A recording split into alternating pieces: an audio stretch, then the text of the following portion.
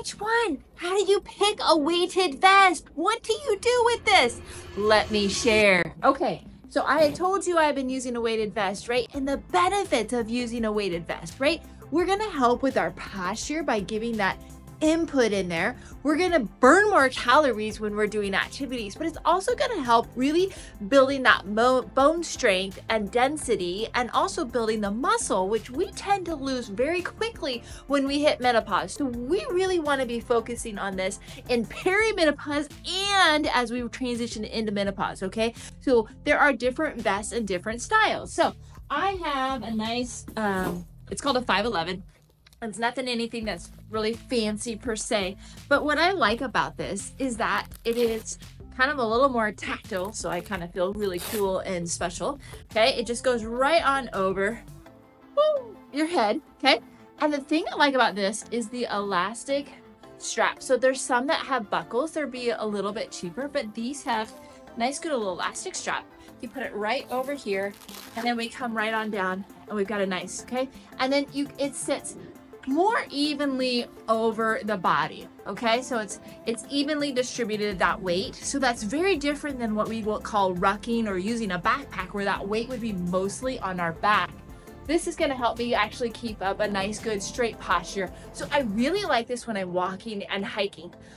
But you can also use a weighted vest when you're working out. That's kind of the disadvantage i like don't love about this if i'm doing something it's a little more challenging and a little bulkier if you were to try and do a workout. Now, can you do it? Absolutely. People do it all the time.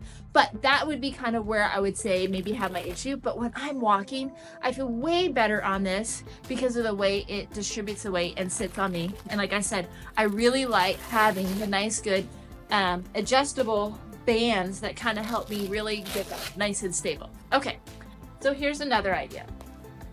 This is more designed as like a women's, women's only vest.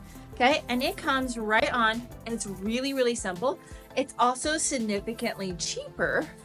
So that's something to think about. Okay, that 511 vest is a cost.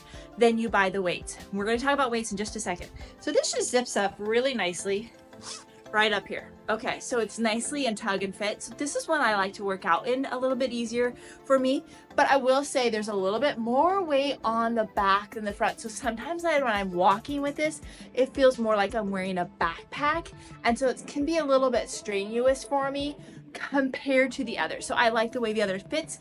Now, Again, it's all gonna be a little bit designed on your body, but there are different styles and that was kind of my point behind it. So when you're deciding on the weight, the best way is, is not to start real heavy. Don't think about like the dumbbells you carry around in the gym think lighter. Think like 10% of your body weight is maybe like a place to start or even less. These two vests right now are only 10 pounds for me, okay? I can do 20 pounds, but I can't go very far with it.